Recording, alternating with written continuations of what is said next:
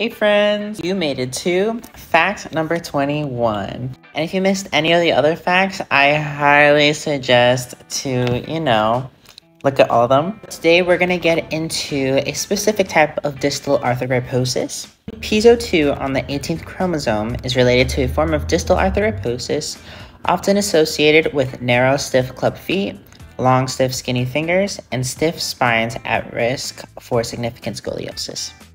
So I read a really long scientific journal so you wouldn't have to.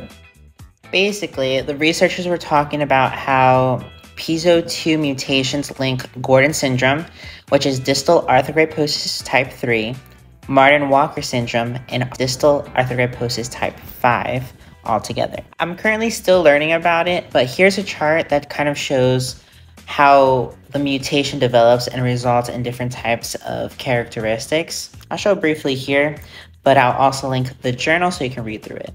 And even the scientific journal talks about how they used exome sequencing to further research this distal arthrogryposis. I swear I can go on forever about these facts and just keep diving deeper.